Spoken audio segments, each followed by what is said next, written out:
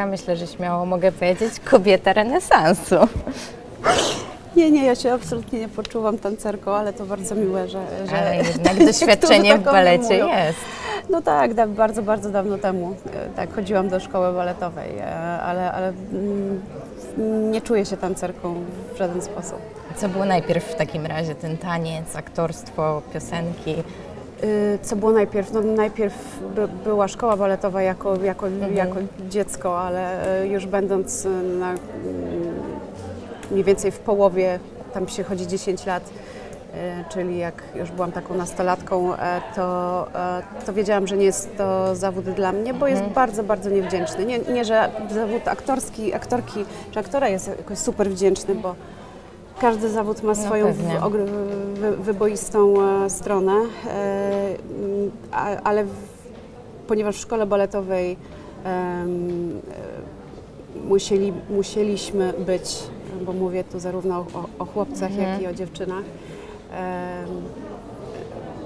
podobni, mm, nie wyróżniający się za bardzo. Nie było przestrzeni na jakąś indywidualność, więc ja wiedziałam, że e, moja droga potoczy się mm, inaczej niż moich e, koleżanek i em, gdzieś to aktorstwo mi towarzyszyło od, od zawsze, bo nawet będąc małą dziewczynką w wieku 6 lat e, mam taki, taki mm, film domowy, e, gdzie mówię, że moim największym marzeniem jest, żeby, żeby być aktorką i, i już w tym kierunku studiowałam i mm, ukończyłam Akademię Teatralną, e, a, no i Akademię Muzyczną e, dosyć niedawno na Wydziale Lokalno-Aktorskim. I to wszystko doprowadziło Cię tak do tego tak miejsca właśnie, chronologicznie mniej w więcej którym jesteśmy, więc Tak. znalazłyśmy się tu i teraz w Gdyni. E, spektakl w Wisławie Grażyna. Tak, Jak to tak, się stało, się że w ogóle trafił do Ciebie ten projekt? Przez Kasię Jungowską, czyli przez reżyserkę, która, e, z którą znałam się wcześniej, ale też z Grażynką Szopałowską znałam się z e, serialu, w którym brałyśmy razem udział. E, I Kasia zaproponowała mi rolę młodej Wisławy Szymborskiej w tym, w tym spektaklu, co, co było dla mnie no, po pierwsze ogromnym zaskoczeniem, a po drugie no, byłam i jestem ogromnie wdzięczna za ten, za ten projekt, bo takie wartościowe rzeczy nie pojawiają się często. No jest to mega mo- mobilitujące, nobilitujące. Opowiesz nam trochę więcej o konwencji w ogóle całego spektaklu. Tak. E, Spektakl oczywiście jest przygotowany na stulecie urodzin naszej noblistki. Mm, Jest to spektakl multimedialny z muzyką, która została specjalnie napisana przez e, Karol Glazer, e, z pięknymi wizualizacjami, z, mm, z Grażyną Szapałowską, która recytuje wybrane, wybraną poezję Wisławy Szymborskiej. No i jest narrator, który jest takim pośrednikiem pomiędzy młodą Wisławą Szymborską a, e, a tym, co się dzieje na scenie. E, Więc jest to taki spektakl wielowymiarowy. Czy czułaś presję, odgrywając taką rolę no, ikony polskiej kultury, ikony polskiej O, poezji? oczywiście, że czułam, czułam dużą presję. Miałam też dosyć dużo, dużo tekstu e, do, do przyswojenia, ale Wisława Szymborska była mi blisko od bardzo, bardzo dawna. e, Miałam jako- właśnie też o to pytać, czy odkryłaś Tak. ją na nowo też może przy tym spektaklu, czy od zawsze?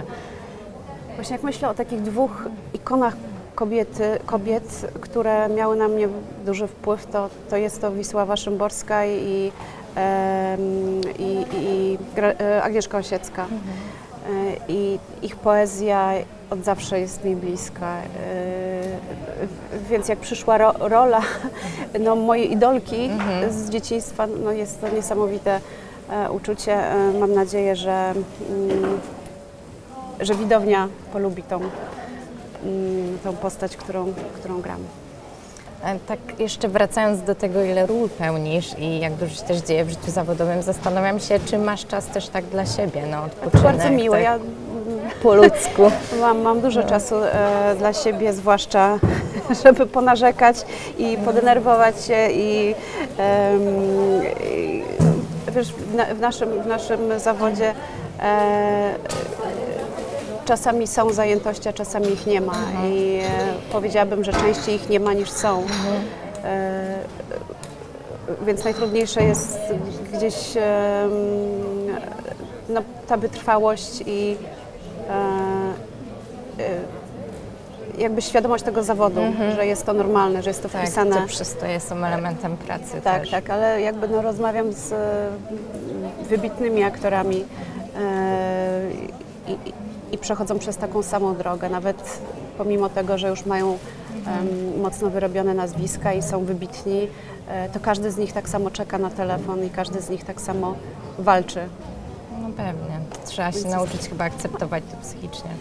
Tak, tak. No nie jest to praca od, od y, rana do wieczora, 8 godzin, y, ale to jest chyba też w jakimś sensie piękno tego zawodu, że, że są te emocje właściwie non-stop.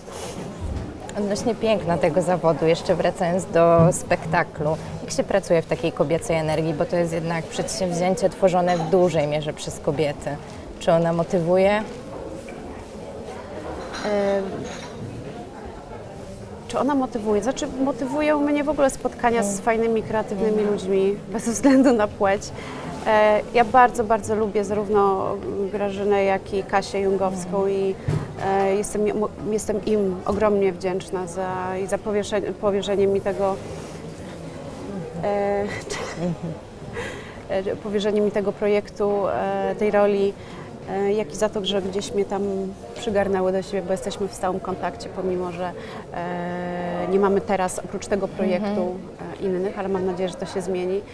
Mm, e, Ciekawe było mm, jakby bycie z boku i oglądanie tej relacji córka-matka e, między Grażyną a, a Kasią i muszę powiedzieć, że życzyłabym sobie, że, żeby w przyszłości mieć taką, taką fajną relację z moją córcią, bo, bo dziewczyny nie dość, że że się lubią, mają dystans, e, nie, nie wchodzą sobie w kompetencje, to znaczy, że e, Grażyna daje się reżyserować i, i, i naprawdę fajna, fajna, zdrowa relacja. Właśnie, bo relacja fajna to jedno, ale jeszcze pracowanie razem i utrzymanie tej Dokładnie. relacji to już jest kolejny poziom, Tak, wydaje tak. mi się. były sytuacje, które mm, może nie mm, e, były jakieś konfliktowe, ale super to rozwiązywały i Mhm. e, no, potrafią ze sobą pracować. Tego Ci życzę. Dziękuję I bardzo. Życzę Życzę Ci, bardzo żebyś też obejrzała jeszcze jakieś tutaj filmy, bo wiem, że nie miałaś czasu.